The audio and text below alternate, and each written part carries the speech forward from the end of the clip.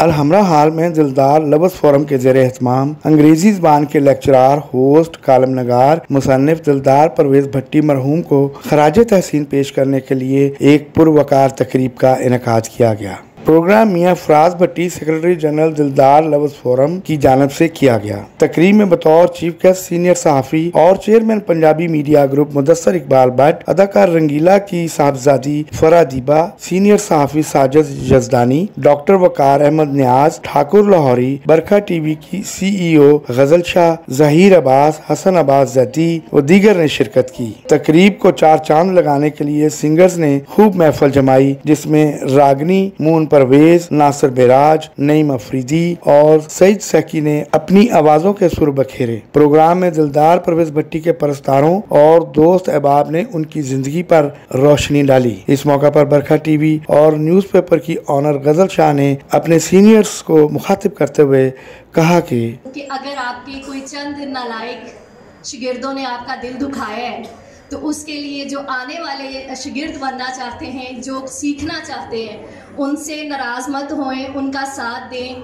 और उनको आगे बाजू पकड़ के लेके जाएँ।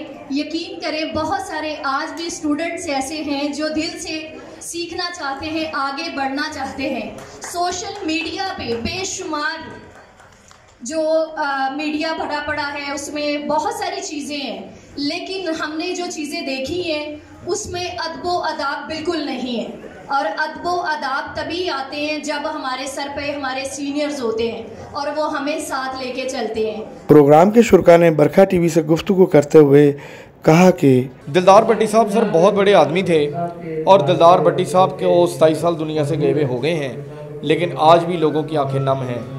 और आज भी लोग उनको याद करते हैं। फनकार तो बड़े थे ही।